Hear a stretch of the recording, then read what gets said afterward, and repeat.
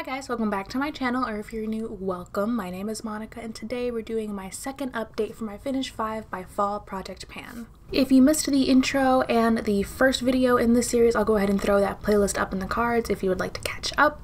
But before we jump into my updates for this round, don't forget to give this video a thumbs up if you like these Project Pan videos, and if you haven't and you would like to, I hope you consider subscribing, hitting the little bell icon to be notified whenever I post a new video every Monday through Friday. So I've made amazing progress and I could not wait for this update. So the first product I'm going to talk about is the foundation. This is the Too Faced Peach Perfect Comfort Matte Foundation.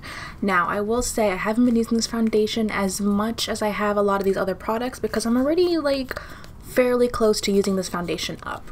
This is about all that's left in the tube right now. It's actually getting difficult to pump it out. So once I can no longer pump out the foundation, I will be cutting the tube open to scrape out the remaining of the foundation. I am wearing it today and I feel like I'm definitely going to be reaching this foundation for the next couple of weeks just until I can finish it up because there is only just that much left. The next product that I'm actually super excited that is 99% used up is from ColourPop. This is the No Filter Sheer Pressed Powder in Light. I did repress this in the last video and I showed you a picture of it and now it is majorly, if not all the way used up. I think this is just like res residue on the pan from when I repressed it, so I really don't think I can actually use it. So I'm actually going to consider this completed. Completely used up the powder. I'm both surprised and not surprised. It is the first product to get used up. You really didn't get a whole lot of product in this powder. It was an okay powder, but just based on how much product you're actually getting, I can't really recommend it. But that's awesome. That means it's one down, four to go. So the next product that I'm going to do an update on, which is also it's got so much great progress on it. This is the highlighter from Fenty Beauty. This is the Killawatt Freestyle Highlighting Duo in Lightning Dust and Fire Crystal. Ooh, look at that. I did hit pan on Fire Crystal, as you can see right here. And then this entire top part is used up in Lightning Dust. So I really only have this much around the edges left. I'm really considering repressing the highlighter just to make it a little bit easier to use. That way I'm not digging at the edges of it. So I think I'm going to repress that side.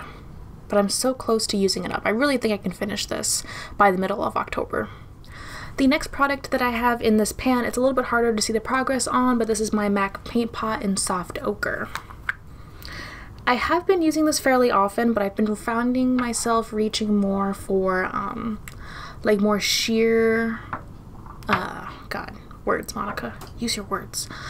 Finding myself reaching for more sheer eyeshadow primers like the Milani primer or the Urban Decay primer especially because I've been going for more natural looks. I've also been like sick this past week, so I haven't been wearing a whole lot of makeup, and when I have, it's been fairly light and simple. This is where I'm at currently with the paint pot, used up a decent amount from the edges, and I do have a nice dip in the middle there.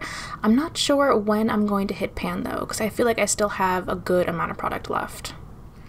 And the last product that I've also made an awesome amount of progress on is the lip product. This is the Fresh Sugar Rose Lip Treatment. And I'm going to twist this up. Yep, that is all that I have left. Right there. Can't twist it up anymore. I'm actually really proud of my progress on this because this was one of the hardest products for me to actually try and use up. Because I whenever I wear lipstick I'm not good about putting a balm on underneath. I'm just not that great at it. So I put this on my bedside table and I've been using it every night before I go to sleep and then every morning before I do like my shower skincare routine and everything. And I've seen such a great difference just in my lips. They're definitely not as dry. They look a lot more plump and just comfortable and I actually really like this. And I definitely like the idea of keeping a lip treatment on my bedside table. So that is my update for this project. I'm really excited about everything and I really think I have a good shot of finishing everything by the middle of October. So don't forget to give this video a thumbs up if you liked it and I'll see you in my next video tomorrow. Bye.